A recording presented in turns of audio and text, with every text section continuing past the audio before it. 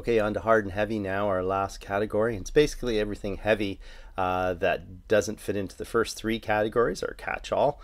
Uh, usually we cover trad metal, speed metal, hard rock, rock and roll, punk rock, that sort of thing in this category. That was a good uh, good month uh, in May for hard and heavy. We got four shoutouts and uh, two highlighted records. So our hard rock selection of the month uh, goes to Swedish outfit Nighthawk uh, for their Prowler release. So if you dig Joe Lynn Turner era uh, Deep Purple, um, you certainly should check this one out. And I should mention that includes Soilwork's Bjorn Strid at the mic. Fire up that Hammond organ. But if uh, old school speed metal is your thing, check out Bel- uh, Belgium's Violent Sin uh, for their album called Serpent's Call. Uh, so think old school Germanic speed uh, a la Iron Angel and Living Death.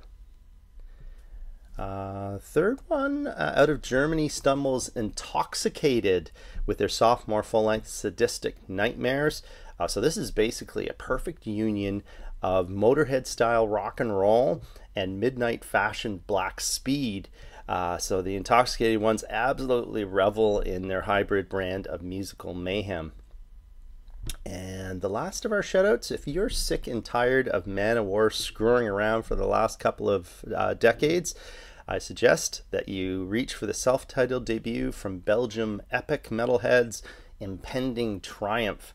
So this five-track EP it opens with a soundscape that uh, you know sets the scene before the black wind flies, with armies of the conqueror, a mid-tempo uh, pounder that would fit in on "Hail to England."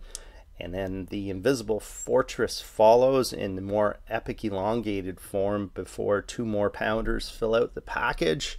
True metal for true uh, metal believers. So let's turn to our, high, our first of our highlighted hard and heavy records for May.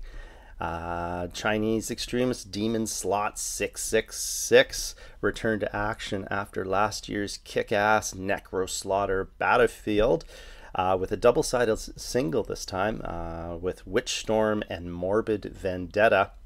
Uh, so I don't usually include singles in my month end list, but this one is so dang good I had to include it.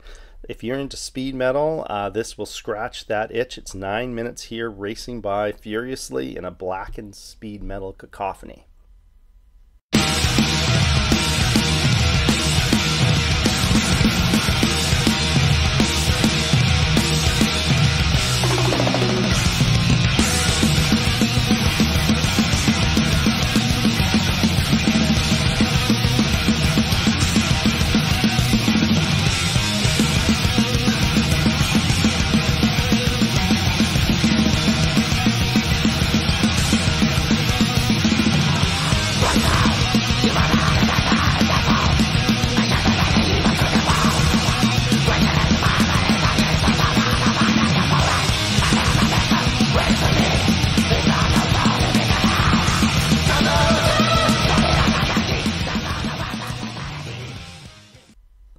Those ones that finds that 2K ACDC lacks energy, like me?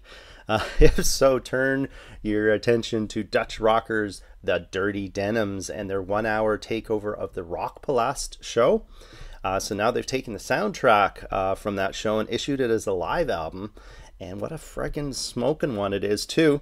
The core sound is undoubtedly ACDC, but it's also crossed with the Donnas, Airborne, and Krokus. Uh, so it's foot stomping, high energy rock and roll with a smile that'll get you heartily head banging along. Ready, steady, go!